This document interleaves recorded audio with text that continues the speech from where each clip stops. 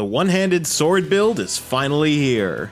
This has been the most requested build, and I look forward to sharing with you my one-handed speed demon build for Code Vein.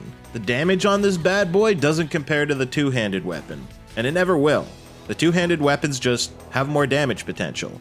However, that doesn't mean that a one-handed build doesn't have its own benefits. I was torn between turning this into the highest damage possible or to make it hit hard because of its speed. I ultimately decided that speed is key if you're going to be playing one-handed builds, but that also means you're much, much more squishy. This build will require some getting used to, and take a little bit of skill to pull off, because you have to attempt to avoid all incoming damage at least as much as you possibly can. The general idea here is we get some staple buffs for each situation. We have a few different attacks to choose from that are again, based on the situation. And other than that, you're basically a speed demon. We are taking advantage of your speed in battle to stay on top. Your dash is very, very far and very, very fast, allowing you to get behind enemies to backstab very easily. You should also have no problem getting a good chain of attacks off before backing off to avoid being hit.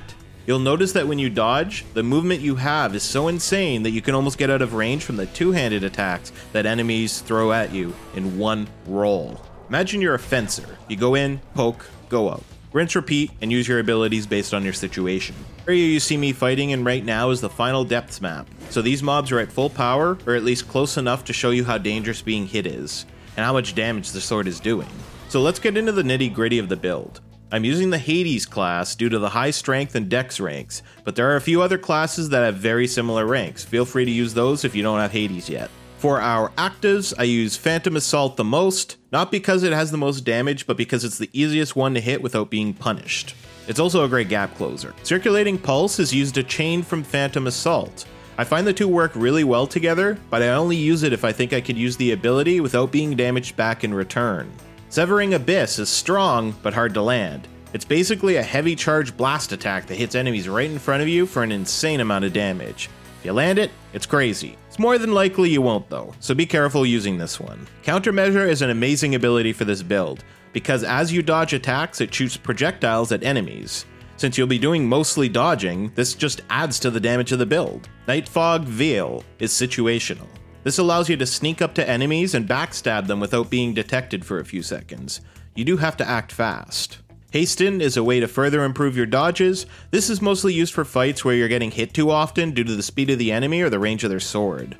Adrenaline is our staple damage buff. Keep that baby up at all time. Finally, it's the statuses. Keep whichever status on that you need based on the area you're in. Right now I have the flame one equipped. Now for the weapon and veil. We got Blazing Claw. I think that it's a really good one-handed sword due to the A in dexterity. It has some potential in a mage swordsman build too, which I'm testing out at the time of this video. You'll notice I don't have an enchant on it yet. It's more than likely I'll add the extra fire damage or higher growth stats. I was testing a lot of the one-handed swords at their base plus 10 strength to compare damage. The veil is going to be Venus Claw.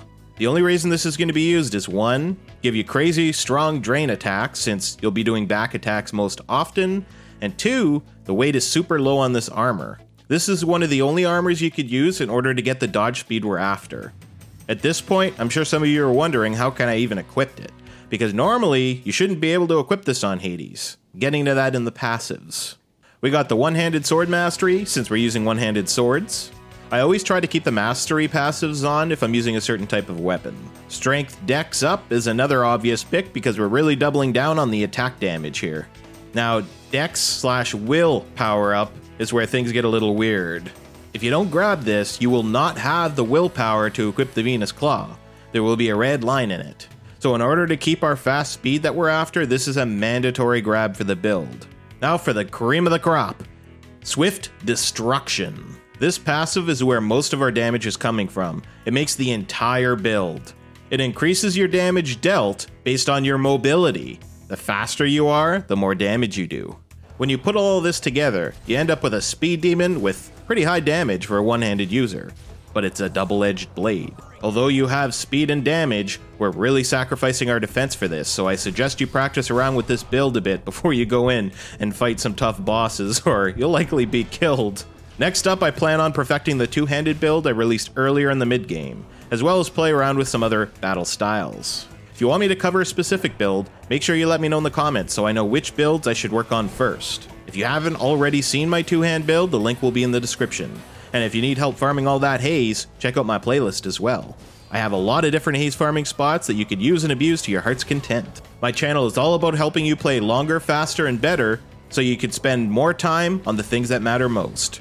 Don't forget to subscribe so you don't miss out on my future builds and Code Vein guides. Have fun slicing and dicing your enemies, samurai style.